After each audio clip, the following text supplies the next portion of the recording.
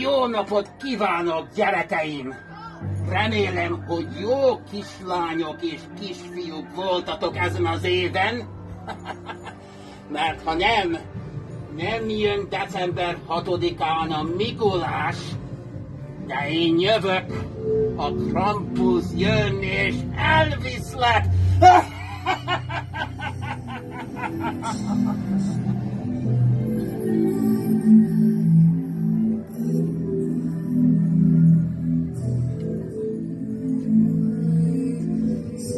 Jesus.